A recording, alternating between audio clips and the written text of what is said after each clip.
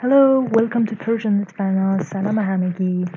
In this video, I'm going to tell you about colors. Yes, colors in Persian.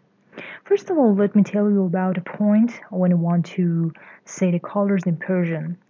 Uh, first of all, we have some uh, specific colors in Persian too, as you can see here, for example, blue and navy blue. But generally, people prefer to just uh, use words such as dark and light instead of saying this kind of specific words. So pay attention. But of course, there are some exceptions that they tell you at the rest of the video. Let's start with the colors. First one is green, sabz, سبز white سفید سفید purple بنفش بنفش For black we have two words. One of them is siyah and another one is meshki. Siyah, meshki. Oh, we have an orange here. Narenji. Narenji. And yellow. Zard. Zard. Let's continue with some metals. Uh, it is golden, taloi, taloi, and it's copper, messy, messy. red قرمز قرمز and brown قهوه‌ای قهوه‌ای pink صورتی صورتی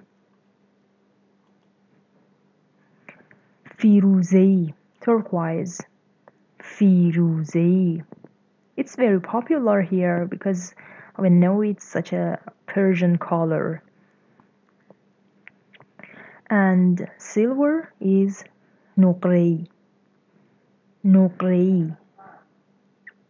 Okay, let's uh, let me tell you about something to uh, something related to um, dark, uh, light, warm, cool, and faded colors. Here you can see some colors, some of the colors that are called warm. And in Persian, we say garm. Garm. And cool or cold uh, colors means sad. Sad. Look at this picture. Uh, you can see uh, some parts that are somehow faded and you know um, different colors are faded to each other. Uh, in this case, if you want to explain this, you can say abrangi, abrangi. And generally, watercolor means abrang, abrang. So, abrangi, abrang. As you can see here, we have a dark part and we have a light or bright part. For dark, we say tire, tire. And for bright or light part, we say roshan, roshan. Let me give an example. آبی تیره آبی تیره آبی تیره means dark blue آبی روشن آبی روشن means light blue let me tell you another point about colors in Persian sometimes we use a, a the name of a, a thing or animal uh, for saying its color and it's usual and everybody understand it usually everybody understanding such as here in persian camel means shotor And when I want to say the color of a camel, I can say shotori. Shotori. Or, for example, uh, here tomato is red. You can say uh, the red, but sometimes as uh, if uh, the color you're talking about is kind of special red, such as tomato, you can say goje. Goje in Persian is tomato. Goje, shotori.